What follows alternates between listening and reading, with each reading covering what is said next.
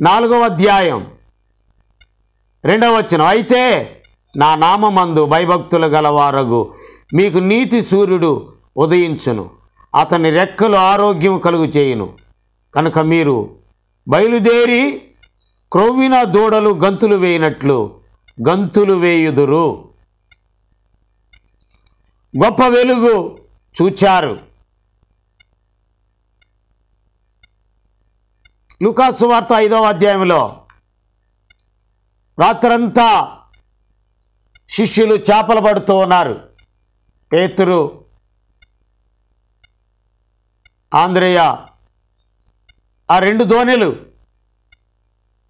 యేసుప్రవారు చూచారు. పేతురుదైన దోణిలో రమ్మంటావా? కూర్చోమంటావంటే రమ్మన్నాడు. కూర్చోమని అక్కడి నుంచి బోధించాడు. యోహన్ సువార్త ఎనిమిదో అధ్యాయంలో కూడా బోధిస్తూ ఉన్నాడు. కనుక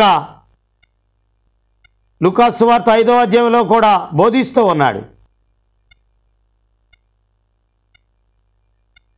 ఆయన కప్పెర్ణ హోములో ఇంట ఉన్నాడు అనేకులు కూడి వచ్చింది వాకిటనైనను స్థలం స్థలవలేకపోతే ఒక వ్యక్తిని ఇంటి కప్పు తీసి ఆ పక్షవాయువు కలిగిన ఆ వ్యక్తిని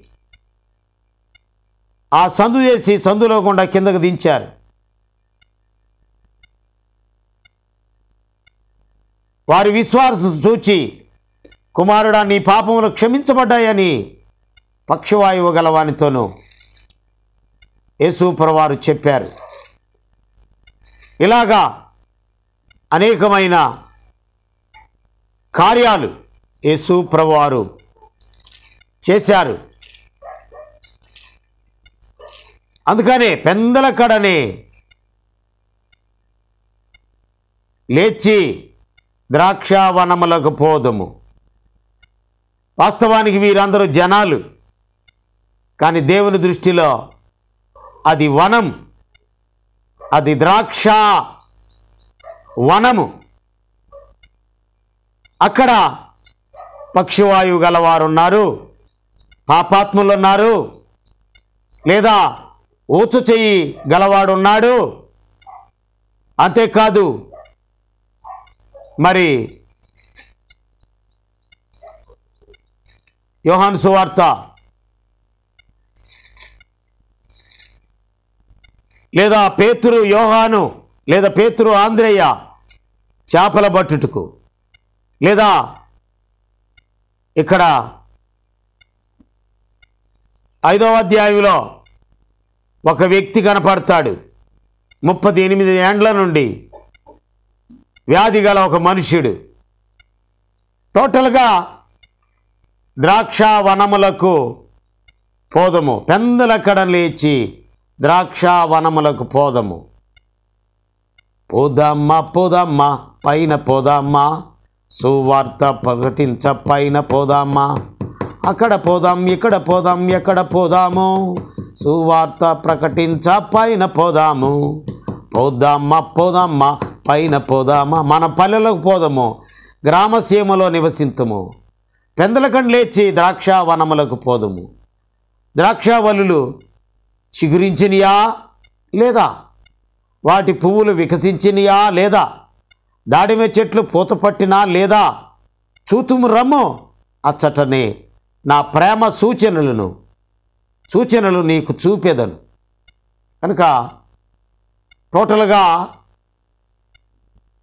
పెందల లేచి ద్రాక్ష వనములకు పోదుము.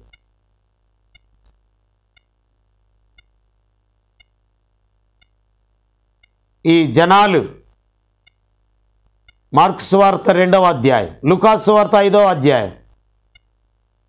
మార్క్స్ వార్త మూడవ అధ్యాయం యోహన్ సువార్త ఎనిమిదవ అధ్యాయం. పాపాత్మురాలు యోహన్ సువార్త ఐదవ అధ్యాయం.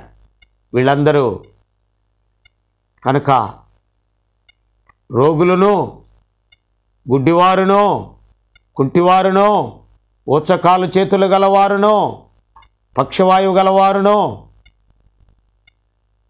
ఇంకా చాంద్ర రోగస్తులను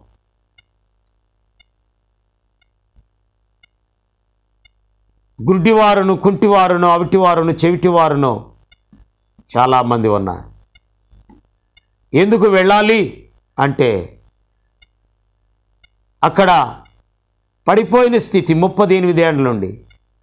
లేదా పాపాత్మురాలు లేదా పక్షవాయువు కలిగిన వాడు లేదా ఊచ చెయ్యి గలవాడు.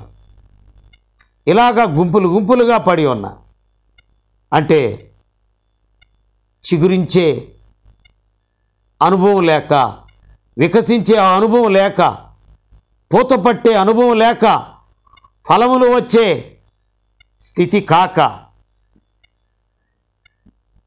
పోయి చూడాలా వారి స్థితిగతులను చూచి వారిని పక్షవాయువు గలవానిని నీ పరుపెత్తుకొని నడవమన్నాడు. కొంతమంది ఏమో విశ్రాంతి దినమున పరుపెత్తి